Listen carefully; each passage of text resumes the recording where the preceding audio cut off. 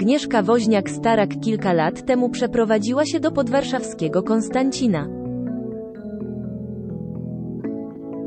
Zamieszkała z dala od miejskiego zgiełku z gromadką psów.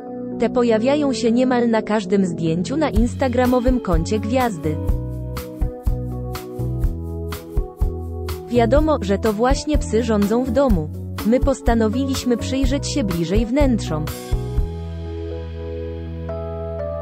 W tym wnętrzu mieszają się różne style. Reklama dlaczego Dawid Kwiatkowski porzucił kościół katolicki? Zobacz wideo Agnieszka Woźniak-Starak we łzach. Tak zareagowała na historię uratowanej krowy, tak mieszka Agnieszka Woźniak-Starak. Industrialne wnętrza dom Agnieszki Woźniak-Starak zbudowany jest z czerwonej cegły, która obecna jest także we wnętrzach. W domu znajduje się dużo otwartej przestrzeni, w której dominuje styl industrialny. Są metalowe elementy, lampy, a w jadalni znajduje się nowoczesny, okrągły stół i barowe krzesła. Dom Agnieszki Woźniak-Starak. Przeszklone pomieszczenia dom prezenterki to królestwo czworonogów. Mają one swoje honorowe kąciki w domu, specjalne leżanki i siedziska.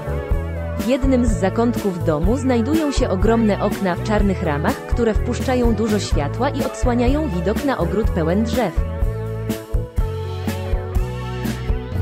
W domu znajdują się także meble w różnych stylach, od rustykalnych po plastikowe fotele.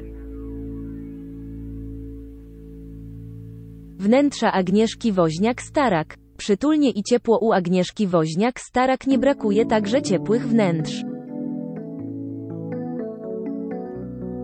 Podłogi w wielu pomieszczeniach są drewniane, a w salonie znajduje się kominek, który sprawia, że jest jeszcze bardziej przytulnie. Dom Agnieszki Woźniak-Starak. Taras i ogród prezenterka może się także pochwalić ogromnym tarasem. Na nim znajduje się szary narożnik, na którym jej pupile chętnie odpoczywają razem z nią. Z tarasu rozciąga się widok na duży ogród. Ten jest pełen zieleni. Oprócz drzewek jest też obszerny trawnik i miejsce do biegania dla psów.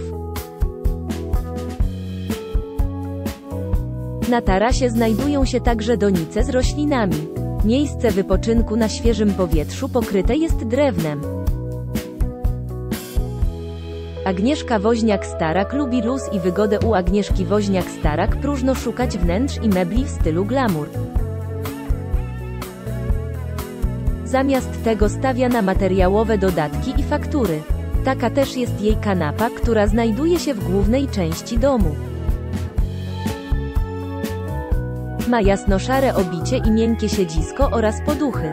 Również psy mają swoje miękkie stanowiska rozrzucone na podłodze. We wnętrzach dominuje szarość. Metamorfoza Agnieszki Włodarczyk. Gwiazda udała się do fryzjera Agnieszka Woźniak-Starak ma gdzie przyjmować gości w centralnej części domu znajduje się także miejsce do przyjmowania gości, które zostało gustownie urządzone. Znajdują się tam czarne stoliki i kanapa z nietypowym oparciem, obita białym materiałem w czarne kropki. Są też krzesła w tej samej kolorystyce. Nad stołami zawieszone są industrialne czarne lampy. Ogromne okno przysłania długa firana.